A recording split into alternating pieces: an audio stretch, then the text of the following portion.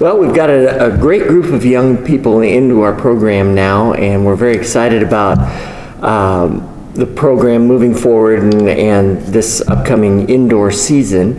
We've upgraded our schedule last weekend. We went to Purdue, Purdue University, and then this weekend we're going to be going to Eastern Michigan. So we're getting into more higher level meets, which I think is good for the, the athletes so that they can see the kind of competition that they're going to see at, at our conference meet.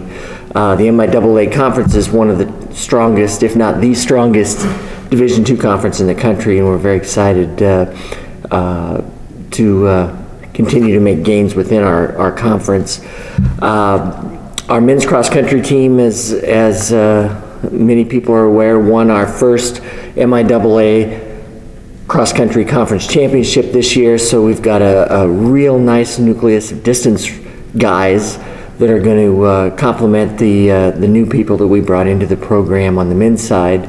And uh, then on the women's side, you know, we're going to be very, very strong in, in a number of areas, um, jumps and, and uh, hurdles and, and different things like that too. Well, I think on the men's side, it's going to be the distance group. Uh, that group uh, has um, a returning uh, second team All American, Aerodothe, and uh, a number of young people that have really made some big strides this year. So we're really excited about that men's distance group.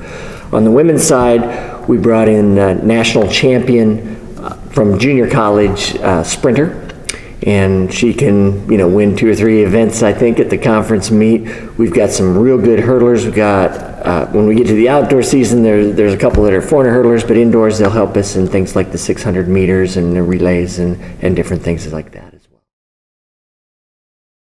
Well, we brought in some, some people that are, um, some junior college people, and then we do have a couple of younger kids that we're going to have to bring along, and I think the indoor season is great for that. They can um, do some events that you know perhaps are not their, uh, you know, the exact event that they do out during the outdoor season. Most of them coming out of high school have not, you know, run a 60 hurdles or 60 dash or whatever. So getting their feet wet with these little shorter races can be very beneficial as well.